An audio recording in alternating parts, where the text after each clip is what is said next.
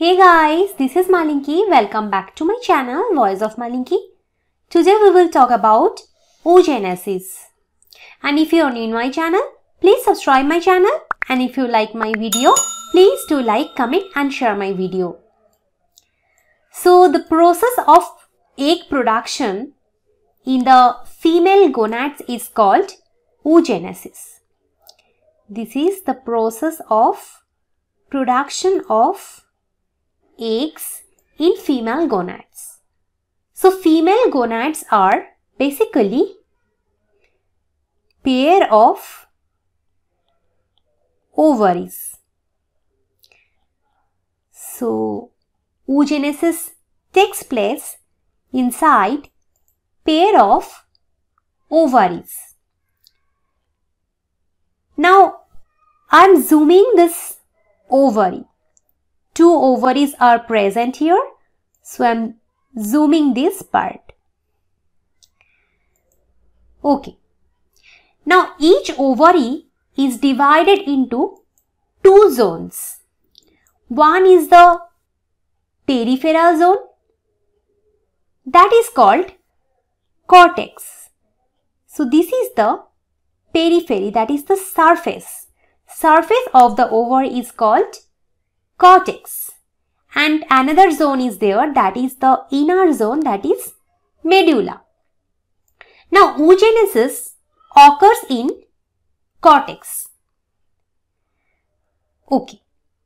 So basically oogenesis begins in females before they are even born.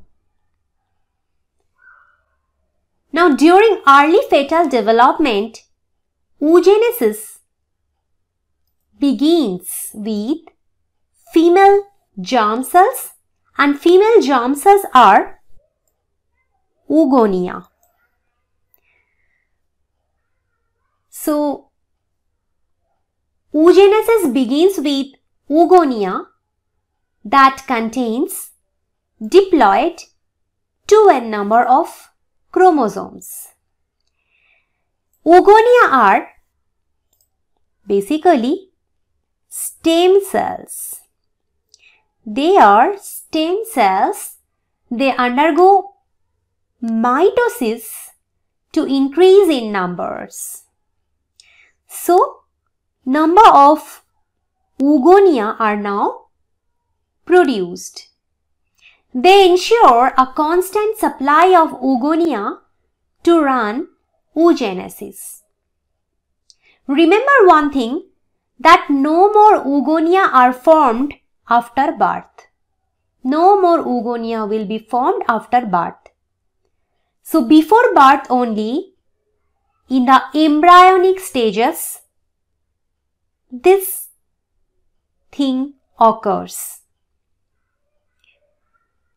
Some of the oogonia undergo differentiation. Some of them, some of them undergo differentiation to produce primary oocytes. So differentiation means it's just little bit developmental changes.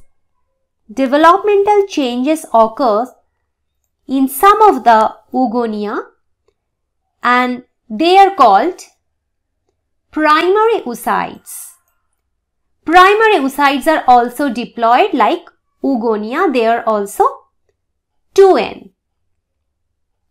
Primary oocytes, what they do? They then enter prophase of meiosis 1. They enter prophase of meiosis 1 during fetal development.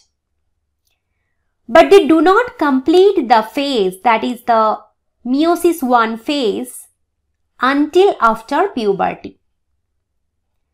So, each primary oocyte then gets surrounded by a single layer of granulosa cells single layer of granulosa cells are there which are surrounding the primary oocyte. It is called primary follicle.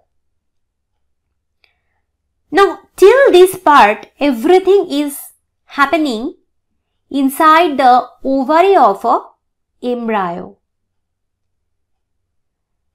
Now the baby girl comes out of her mother's womb and born in the world with this primary follicle.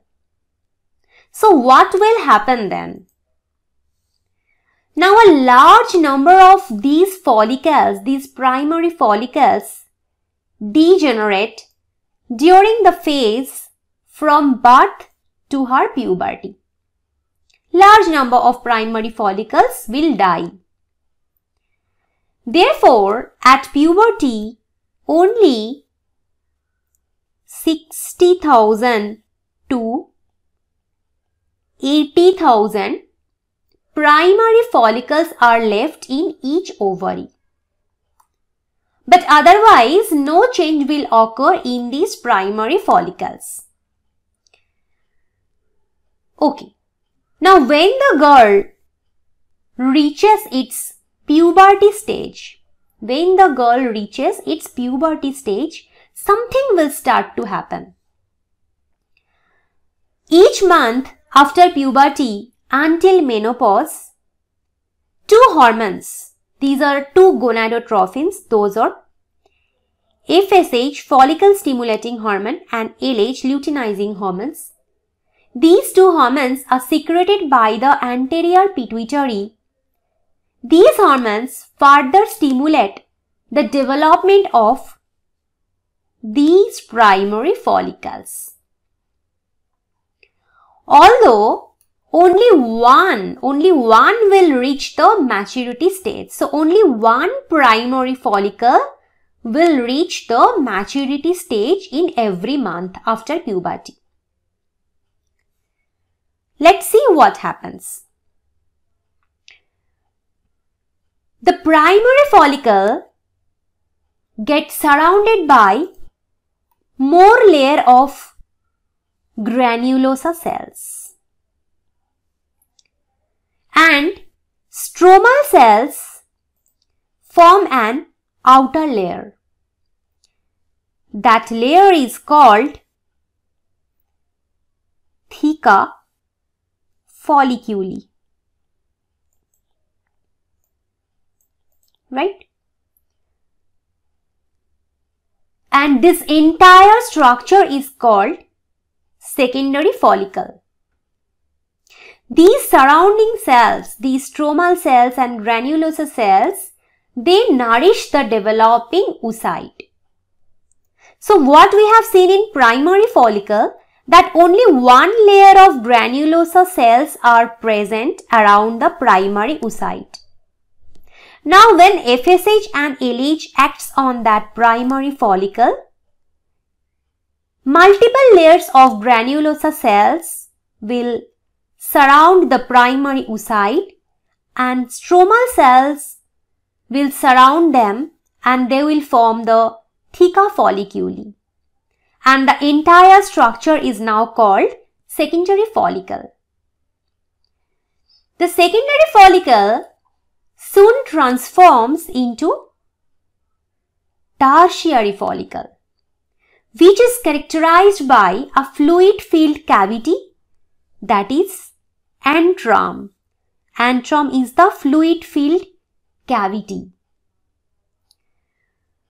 The theca layer is now organized into an theca interna that is the internal layer of theca and theca externa that is the external layer of theca. At this stage, the primary oocyte within the tertiary follicle grows in size and completes its fast meiosis division, fast meiotic division or meiosis 1. Now it is an unequal division that results in the formation of a large haploid secondary oocyte. This is the haploid cell because it comes after meiosis 1. So it is large secondary oocyte and a tiny cell that is fast polar body. This is very tiny cell. This is the fast polar body. This is the unequal division because secondary oocyte and fast polar body are not equal in size. Secondary oocyte is larger, fast polar body is smaller. Now this fast polar body will get degenerated. It will die. The tertiary follicle further changes into Graafian follicle. The secondary oocyte, so this is the secondary oocyte we have seen here. It is the larger cell. It forms a new glycoprotein layer that is this one that is called zona pellucida. It is the layer of glycoprotein. Zona pellucida surrounds the secondary oocyte. Now the secondary oocyte begins meiosis 2 but then stops in metaphase stage. It will not complete the meiosis 2. Instead, it will stop in the metaphase stage. Now, the Graafian follicle now ruptures to release the secondary oocyte that is called ovum. It will release the ovum or secondary oocyte from the ovary and this process is called ovulation.